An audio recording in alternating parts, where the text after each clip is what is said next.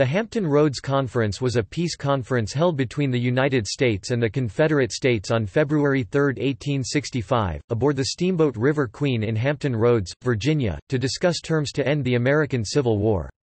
President Abraham Lincoln and Secretary of State William H. Seward, representing the Union, met with three commissioners from the Confederacy, Vice President Alexander H. Stephens, Senator Robert M. T. Hunter, and Assistant Secretary of War John A. Campbell.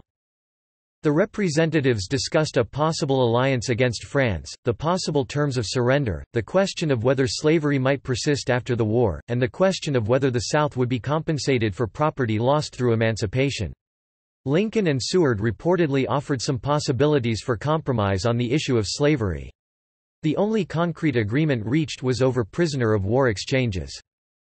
The Confederate commissioners immediately returned to Richmond at the conclusion of the conference. Confederate President Jefferson Davis announced that the North would not compromise. Lincoln drafted an amnesty agreement based on terms discussed at the conference, but met with opposition from his cabinet. John Campbell continued to advocate for a peace agreement and met again with Lincoln after the fall of Richmond on April 2.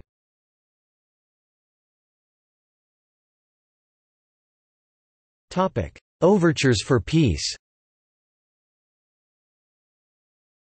In 1864, pressure mounted for both sides to seek a peace settlement to end the long and devastating Civil War.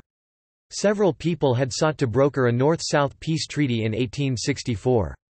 Francis Preston Blair, a personal friend of both Abraham Lincoln and Jefferson Davis, had unsuccessfully encouraged Lincoln to make a diplomatic visit to Richmond. Blair had advocated to Lincoln that the war could be brought to a close by having the two opposing sections of the nation stand down in their conflict, and reunite on grounds of the Monroe Doctrine in attacking the French-installed Emperor Maximilian in Mexico. Lincoln asked Blair to wait until Savannah had been captured.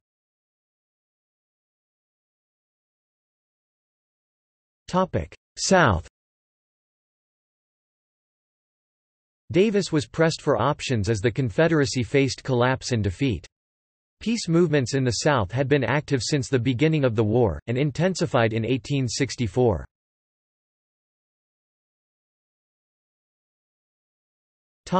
Alexander Stephens Alexander H. Stephens, Vice President of the Confederate States, had by 1863 become an active advocate for ending the war. Stephens had almost begun negotiations with Lincoln in July 1863, but his efforts were thwarted after Confederate defeat in the Battle of Gettysburg. By 1864, Stephens was an outright dissident against the power of Davis's CSA government, and was invited by General William T. Sherman to discuss independent peace negotiations between the state of Georgia and the Federal Union. Stephens addressed the Confederate States Senate as its nominal presiding officer in Richmond on January 6, 1865, urging peace talks with the North. Some Confederate legislators agreed with Stephens and began to agitate for negotiations.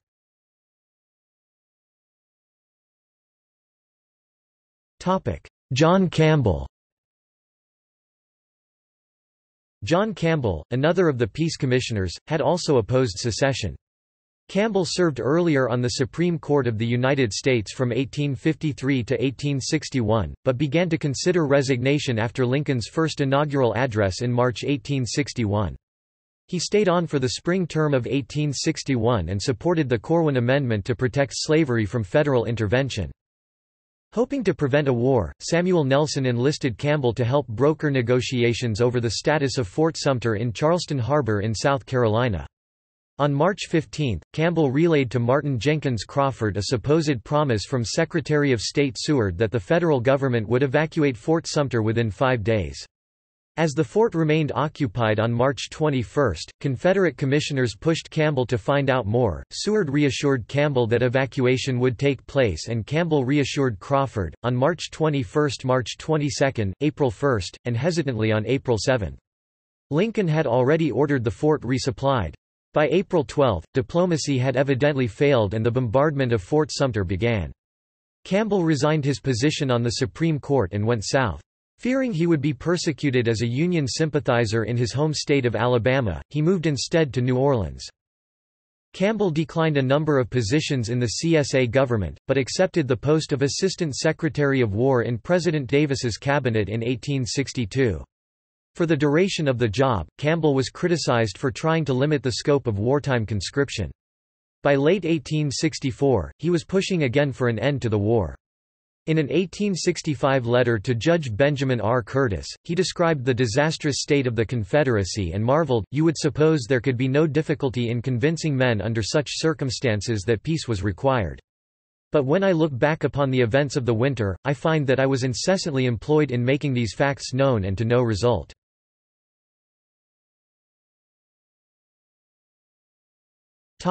North Lincoln would clearly insist on full sovereignty of the Union. Slavery posed a more difficult problem. The Republican platform in 1864 had explicitly endorsed abolition, but pushing too hard on the slavery issue might offend mainstream politicians and voters. Within this precarious political situation, in July 1864 Lincoln issued a statement via Horace Greeley, To whom it may concern, any proposition which embraces the restoration of peace, the integrity of the whole Union, and the abandonment of slavery, and which comes by and with authority that can control the armies now at war against the United States, will be received and considered by the executive government of the United States, and will be met by liberal terms on other substantial and collateral points, and the bearer or bearers thereof shall have safe conduct both ways. Lincoln confided to James W. Singleton that his primary concern was the Union. In Singleton's words, "...that he never has and never will present any other ultimatum that he is misunderstood on the subject of slavery that it shall not stand in the way of peace." Lincoln's reassurance earned him Singleton's support in the 1864 election. Seward openly suggested in September 1864 that if the Confederate States relented on the question of independence, the question of slavery would fall to the arbitrament of courts of law, and to the councils of legislation." He did not mention the ongoing debate over what became the Thirteenth Amendment, and declined to clarify his position in written correspondence. Seward invited the South to return to the common ark of our national security and happiness, as brethren who have come back from their wanderings. Having won the election, Lincoln told Congress that reaching a peace agreement with Davis would be unlikely. He affords us no excuse to deceive ourselves. He cannot voluntarily reaccept the Union, we cannot voluntarily yield it." However, said Lincoln, the South could end the war by laying down arms. They can, at any moment, have peace simply by laying down their arms and submitting to the national authority under the Constitution. If questions should remain, we would adjust them by the peaceful means of legislation, conference, courts, and votes, operating only in constitutional and lawful channels. In presenting the abandonment of armed resistance to the national authority on the part of the insurgents, as the only indispensable condition to ending the war on the part of the government, I retract nothing heretofore said as to slavery. I repeat the declaration made a year ago, that while I remain in my present position I shall not attempt to retract or modify the Emancipation Proclamation, nor shall I return to slavery any person who is free by the terms of that proclamation, or by any of the acts of Congress.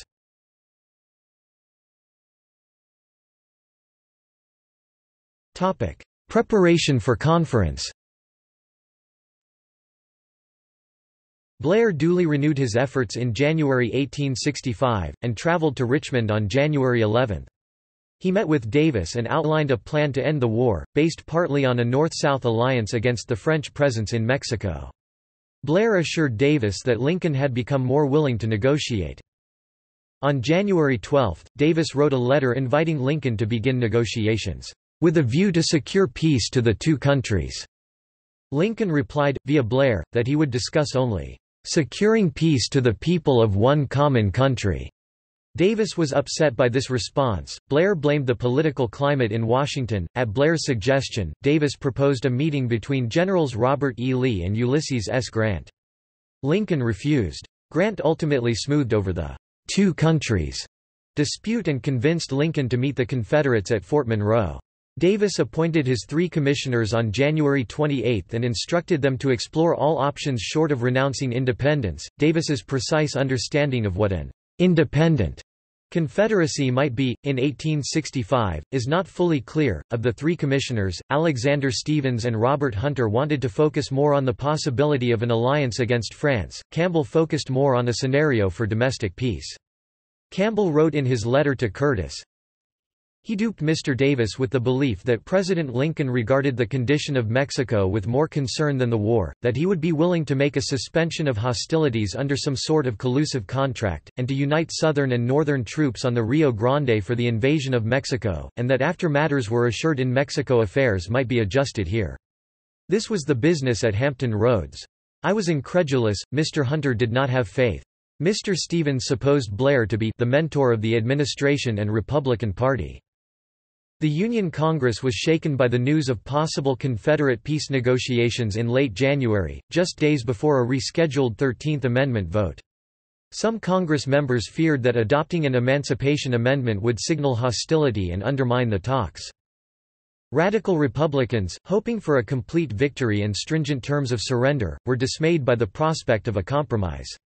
Opponents of the amendment exploited these fears in an attempt to prevent its passage in the House. Stephens later blamed this political reaction for the failure of the conference. Reassurance from Lincoln's Secretary John Hay was not convincing to Ohio Democrat Sunset Cox, who demanded that Ashley investigate the rumor of impending negotiations.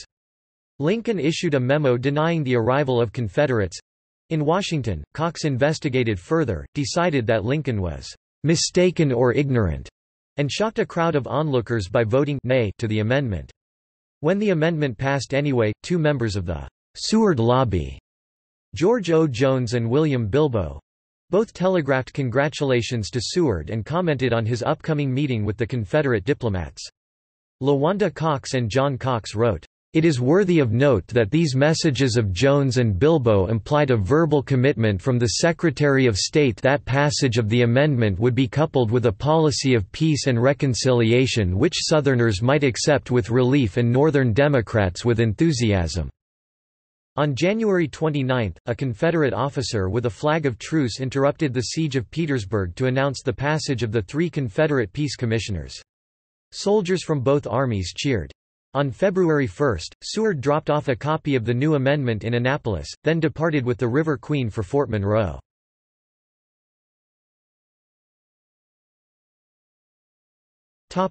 Conference Lincoln and Stephens had been political allies before the war and the meeting began on friendly terms. Stephens discussed the topic of a military alliance against France in Mexico, but Lincoln cut him off and asked directly about the question of sovereignty. Prodded by Campbell, Lincoln insisted that the South would have to disband its armies and submit to federal authority.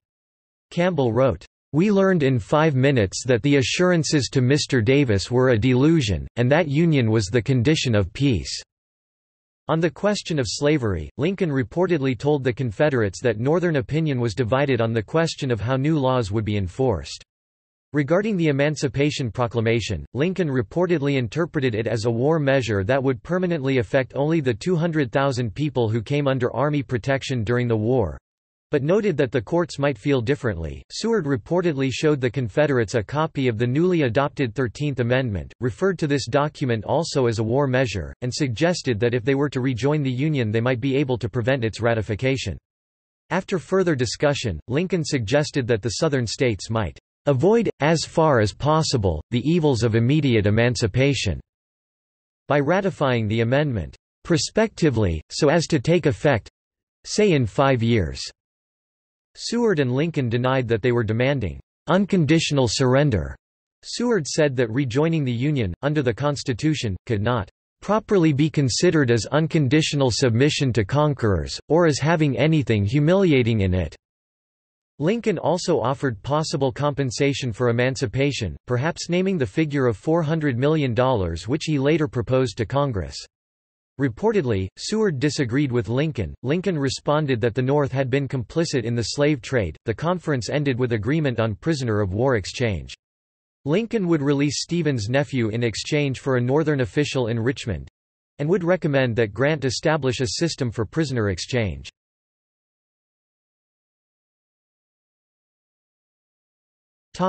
Historical uncertainties There are no official records of the conference itself, so all reports originate from the subsequent commentary of involved parties. The two lengthy accounts of the conference—written by Confederate Stephens and Campbell—concur on most of the details. These accounts, along with secondary records from the archives of Lincoln and Seward, suggest that Lincoln and Seward would have compromised on the issue of slavery. Lincoln's personal communications, even from around the time of his to whom it may concern letter, indicate that he might have been willing to privately give ground on slavery. That Lincoln proposed a delayed ratification plan is mentioned by the Augusta Chronicle and Sentinel in June 1865—based on a report by Stephens from after the meeting. From a legal standpoint, Lincoln never believed that the federal government had the authority to ban slavery in the states. Thus his constant emphasis on the status of the Emancipation Proclamation as a measure effective only during wartime. According to Paul Escott, Lincoln's moral opposition to slavery did not override his understanding of the Constitution, therefore, Lincoln may have believed that the rebel states would have a right to reject the Thirteenth Amendment if they rejoined the Union. Seward's biographers generally agree that the Secretary of State may have suggested an outright rejection of the amendment. The Confederate delegates spread word of this suggestion privately, contradicting Jefferson Davis's public statements that the surrender terms had been unconscionable. Some historians dispute Stephens's interpretation of the conference. Michael Vorenberg writes that Lincoln would have known that a constitutional amendment cannot be prospectively ratified, and therefore, the story is suspicious at best. Vorenberg suggests that although Lincoln might have expressed his preference for gradual emancipation, he would not have sought to portray this option as legally or politically possible. William C. Harris also doubts the prospective ratification story, on the grounds that this offer is not mentioned by Campbell in his 1865 letter to Curtis. James McPherson suggests, "...it is probable that Stephens was reading his own viewpoint into Seward's remarks." According to David Herbert Donald, Lincoln and Seward may have offered olive branches to the Confederates based on their sense that the institution of slavery was doomed and would end regardless. Relenting on the slavery issue might thus have prevented unnecessary warfare. Seward biographer Walter Starr supports this inevitability theory, confirming that Seward would have accepted delay in ratification in order to end the war. Ludwell H. Johnson theorizes that peace negotiations reflected Lincoln's efforts to consolidate political power by creating a new conservative coalition which would include Southerners. Johnson argues that negotiations would have built support among Northern Democrats as well as nascent Southern governments.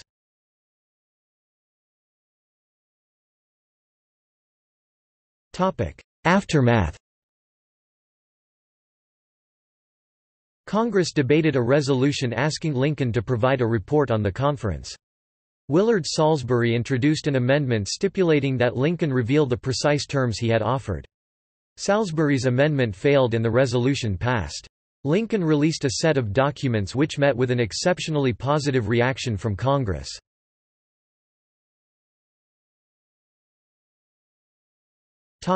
Response from Davis Davis portrayed the conference in harsh terms, saying that Lincoln had demanded unconditional surrender and that the Confederacy must continue to fight. Some historians argue that Davis entered the conference in bad faith in order to generate publicity around Northern hostility. Charles Sanders contends that Davis did not retain enough control over the negotiations to ensure they would serve his purpose, writing, if Davis's motive, therefore, was to discredit the Croakers, he was running the enormous political risk that the negotiations might actually succeed. Sanders also argues that if Davis had intended to sabotage the conference, he would not have considered such prominent representatives as Lee or Stephens. Stephens left Richmond and went home to Georgia on February 9.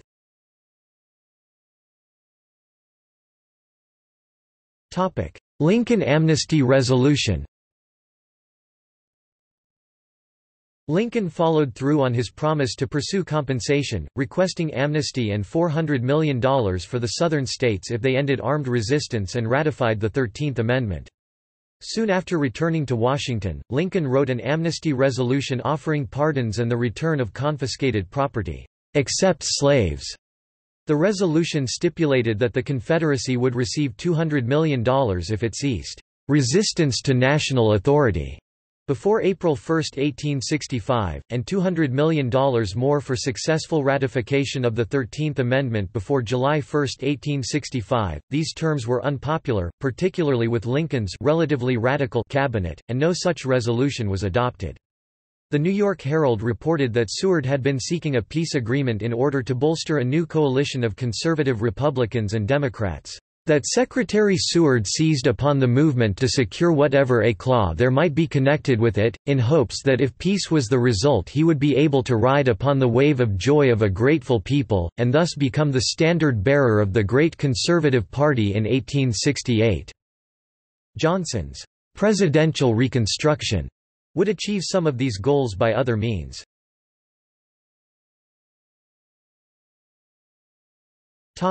Lincoln-Campbell meetings Campbell continued to push a peace settlement within the CSA, writing to John C. Breckinridge on March 5 that, "...the South may succumb sick, but it is not necessary that she should be destroyed." Campbell was the only member of the Confederate government to stay in Richmond after it fell to the Union. He met twice with Lincoln to discuss the future of the South. On April 5, Lincoln delivered the following message in writing, As to peace, I have said before, and now repeat that three things are indispensable. The restoration of the national authority throughout the United States. No receding by the executive of the United States on the slavery question from the position assumed thereon in the last annual message, and in preceding documents. No cessation of hostilities short of an end of the war, and the disbanding of all forces hostile to the government. That all propositions coming from those now in hostility to the government, not inconsistent with the foregoing, will be respectfully considered and passed upon in a spirit of sincere liberality. I now add that it seems useless for me to be more specific with those who will not say that they are ready for the indispensable terms, even on conditions to be named by themselves. If there be any who are ready for these indispensable terms, on any conditions whatever, let them say so, and state their conditions, so that the conditions can be known and considered. It is further added, that the remission of confiscation being within the executive power, if the war be now further persisted in by those opposing the government, the making of confiscated property at the least to bear the additional cost, will be insisted on, but that confiscations except in case of third-party intervening interests, will be remitted to the people of any state which shall now promptly and in good faith withdraw its troops from further resistance to the government. What is now said as to the remission of confiscation had no reference to supposed property in slaves.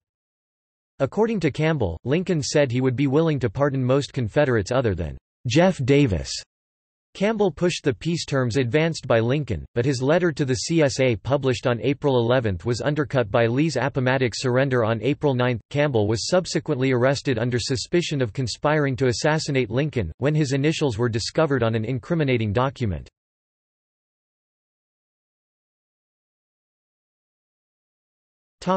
In culture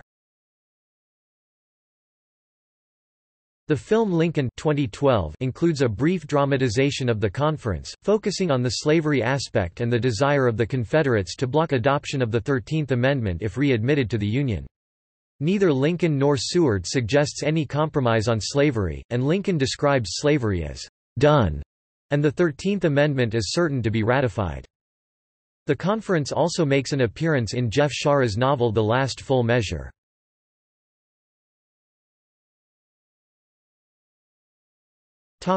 See also.